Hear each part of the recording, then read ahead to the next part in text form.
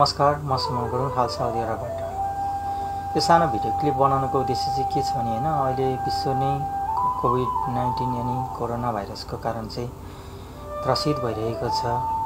धेरै मानिसहरूले चाहिँ अकालमा ज्यान गुमाइरहेको अवस्था छ होइन। अहिले लगभग आजको अपडेट अनुसार टोटल मर्नेको सङ्ख्या एक लाख बिस हजार चार सौ उन् उनपचासजना पुगिसकेको छ भने सङ्क्रमित हुनेको सङ्ख्या नै यति धेरै मात्रामा छ कि हरेक समय हरेक क्षण चाहिँ यसको बढ्दो क्रम नै जारी छ। उन्नाइस लाख उन्तिस हजार नौ सौ बाइसजना त सङ्क्रमित केस रहेछ भने चार लाख एकसट्ठी हजार आठ सौ उन्नाइसजनाले चाहिँ नयाँ जीवनदान पाइरहेको छ। यो सङ्क्रमण भइसक्यो कोरोना भाइरस सङ्क्रमण भइसकेपछि मान्छे बाँच्न एकदम चान्सेस कम छ।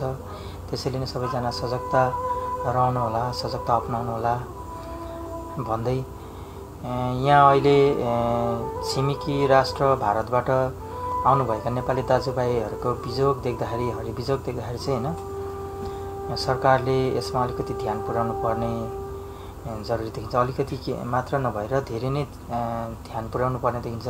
लकडाउनले गर्दा उनीहरू नेपाल छिर्न सकेको छैनन् तर बोर्डरमा रहेर पनि उनीहरूको बसाइ खानपान एकै ठाउँ सुँगुरको खोर जस्तो कोचिएर बसेको छ यानि यो समय भनेको चाहिँ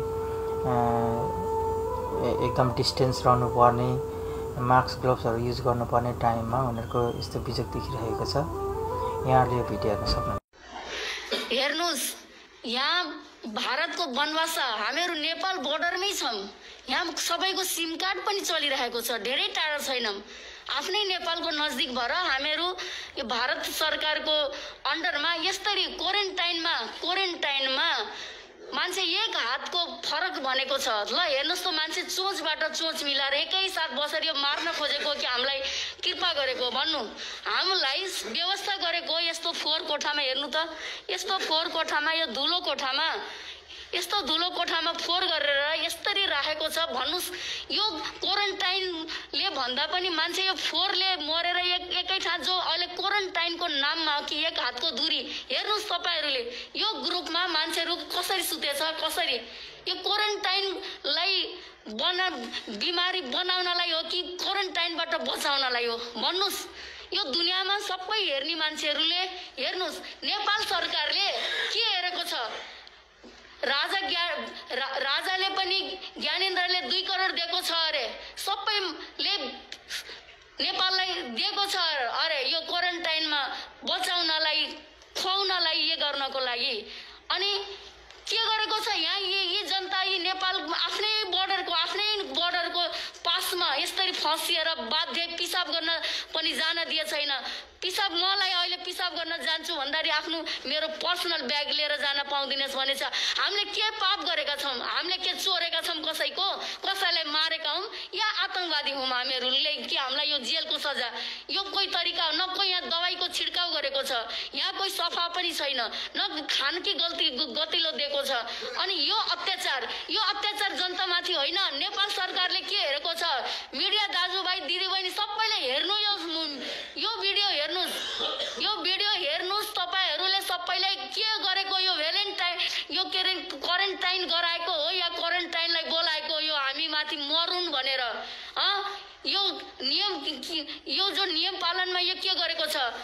कि यो सरकारलाई यो नरेन्द्र मोदीदेखि त नेपाल सरकार सबैले यो गेम खेलेको होइन राजनीति कि यो गरिब मान्छेलाई मार्न भनेर एकै ठाउँ भेडा बाख्रा जस्तै आफूहरू सबै सेनिटाइजर स्वस्थ भएका छन् अरू हामीलाई यहाँ यस्तो फोहोरमा यसरी राखेका छन् जस्तो हामीहरूलाई खाना पनि टाढा दिएका छन् हामीहरू के रोगी हौँ हाम्रो जाँच भइरहेको छ कोही काम गरेर काम गर्ने मान्छेले लकडाउन भएपछि आफ्नो घर आउन खोजेको कोही बिमार भएर होइन कि लकडाउन भएर आफ्नो घरमा आउन खोजेको? कुरा के भन्न चाहन्छु भने सायद भगवान्कै कृपा हो या केही न केही त छ होला केही शक्तिको कारण हो। नेपालमा कमै मात्रामा देखिएको छ अहिलेसम्म सोह्रजनालाई मात्रै लागेको छ। यद्यपि यसको बढ्दो क्रम नेपालमा पनि दिनौँ आइरहेको देखिन्छ।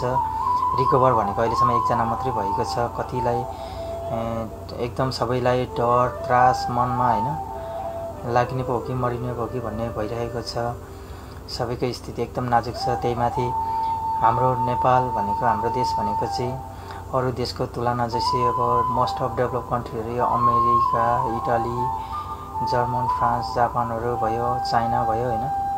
यिनीहरू देशले त नियन्त्रण गर्नु नसकेको रोग भाइरस एकदम खतरनाक भाइरस होइन? नेपालमा धेरै मुस्किल हुन्छ।